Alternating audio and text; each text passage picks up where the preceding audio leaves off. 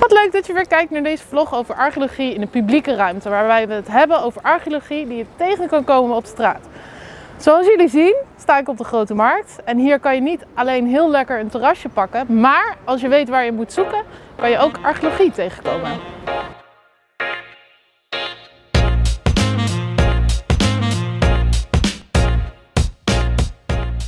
Achter mij zie je de Zwarte Ruiter en hier werd in 1999 de kelder uitgebreid. En de werkers die stuitten toen op een waterput. En de eigenaar van het pand vond dat zo'n leuke vond dat hij de waterput heeft behouden. En je kan hem nog steeds zien in het café. Hier in de kelder, bij de wc's, zie je nog de bovenkant van de waterput.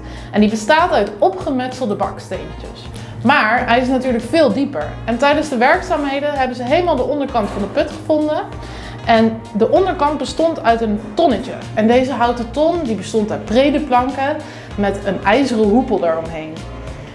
Nou, waterputten zoals die van de Zwarte Ruiter kan je ook tegenkomen in de tramtunnel achter mij. Want daar hebben ze vitrines nagemaakt in de vorm van waterputten en daarin worden vondsten tentoongesteld die hier zijn gevonden. Daarnaast hebben ze van de perronvloer een archeologische vloer gemaakt. Dat wil zeggen dat ze de kaart van Den Haag uit 1616 hebben nagemaakt in hout. En als tramreiziger kan je dus over die vloer heen lopen. Je loopt dus als ware over het verleden van de stad heen. Op een informatiebord in de tramtunnel bij de archeologische vloer kan je meer informatie vinden over de vondsten en de vloer zelf.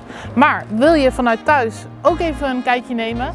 In de beschrijving van de video vind je een link naar de Haagse kaart en daarin kan je foto's en beschrijvingen van de tramtunnelvondsten makkelijk vinden. Tot de volgende keer!